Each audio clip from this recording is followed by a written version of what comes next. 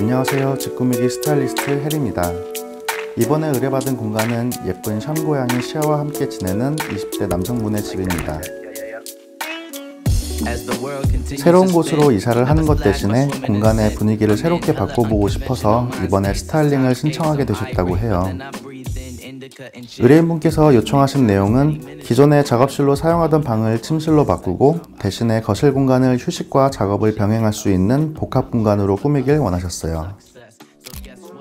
처음 집을 방문했을 때 느낌은 꽤 넓은 거실에 침대가 한가운데 있어서 공간을 많이 낭비하고 있다는 느낌을 받았고 가지고 계신 소품이나 장식품들이 많은 데 비해 수납 공간이 많지 않다는 점이 눈에 띄었습니다. 그리고 스피커 같은 음향기기들을 굉장히 많이 가지고 계셔서 스피커들을 밸런스 있게 배치하는 것도 고려해야 할 것 같다는 생각을 했습니다. 그런 이유로 이번 스타일링을 진행하면서 가장 중요하게 생각한 것은 수납 공간의 확보와 공간의 분할이었습니다. 영화와 음악 감상, 기타 연주 등 여러 가지 취미를 가지고 계셔서 쾌적하게 취미를 즐길 수 있는 공간으로 만들어 드리고 싶었습니다. 스타일링 후 변화된 공간을 소개해 드릴게요. 현관을 들어서면 가장 먼저 오른쪽에 사이드보드와 주방 수납장을 함께 배치했습니다. 차와 와인을 즐기는 취미가 있으셔서 주방 수납장을 이용해 작은 홈카페 존을 만들어 드리고 싶었어요. 그리고 같은 디자인의 sideboard를 연결 배치해서 부족했던 수납은 해결하고 위에는 좋아하는 소품들이나 외출 시 꼭 챙겨야 하는 소지품들을 올려둘 수 있게 해드렸습니다. 반대편에는 식사도 하고 차를 마시며 쉴 수 있는 멀티미디어 zone으로 구성했습니다. 의뢰인분은 fabric 소파를 놓길 원하셨는데 아무래도 반려동물과 함께 지내다 보니 오염되거나 훼손되기 쉬울 수 있어서 기능성 fabric 소파를 추천해드렸어요. 방수는 기본이고 오염 제거가 매우 쉬운 튼튼한 원단을 사용한 것이 특징입니다. 거실이 전체적으로 어두운 색상의 가구들이 많아서 소파는 밝은 색으로 배치해 공간이 너무 무거워지지 않게 연출했습니다. 기존에는 간단히 차나 와인을 마실 수 있는 작은 식탁이 있었어요. 하지만 거실 공간에 작업 공간을 함께 배치하다 보니 식탁을 놓을 공간까지는 확보하기에 약간 무리가 있어서 lift-up 소파 테이블을 추천해드렸습니다. TV를 시청하면서 식사하는 것을 좋아하는 분들에게 아주 실용적인 제품이에요. 바닥의 러그는 먼지가 잘 나지 않고 청소가 편리한 sisal look 러그를 추천해드렸습니다.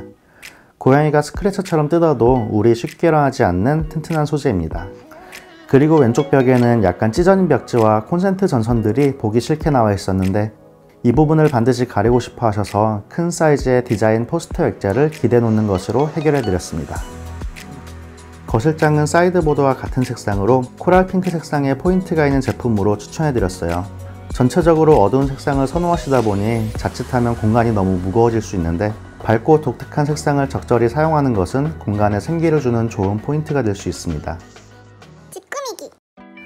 기존에 55인치 TV를 가지고 계셨는데 TV를 배치할 때 너무 가까우면 시각적으로 피로해지고 또 너무 멀어지면 큰 사이즈의 TV를 구매한 의미가 없어지기도 합니다. TV 규격마다 권장되는 시청거리에 맞춰 소파 배치를 정하는 것도 하나의 좋은 팁이 될 수 있습니다.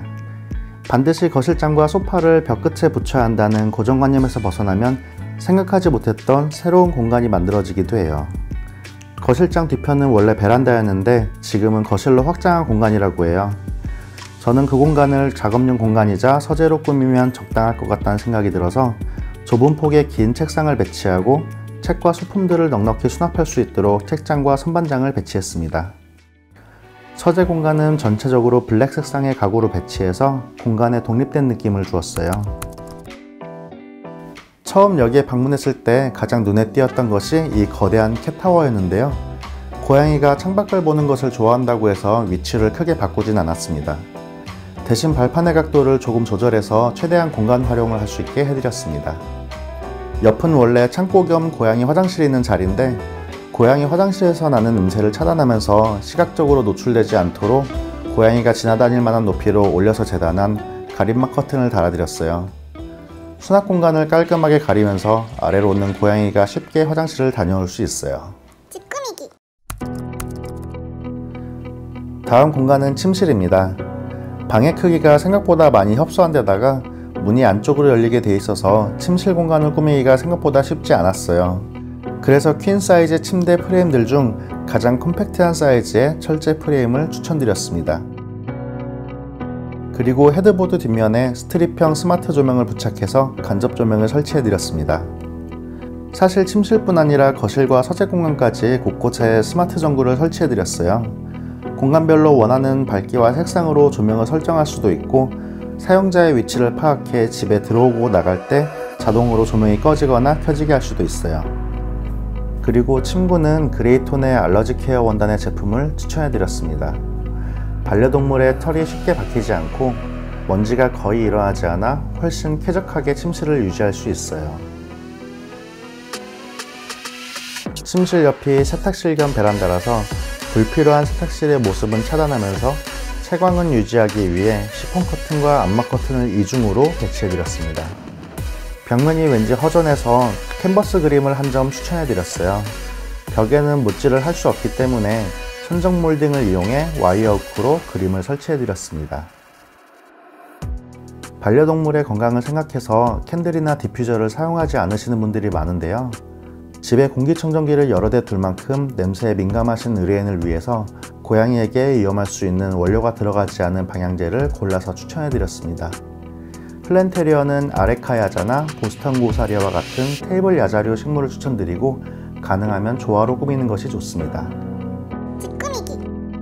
직꾸미기만 의 노하우와 홈스타일링 팁이 궁금하시다면 채널 구독 그리고 알림 설정으로 가장 먼저 만나보세요. 지금까지 직꾸미기 스타일리스트 해리였습니다. 감사합니다.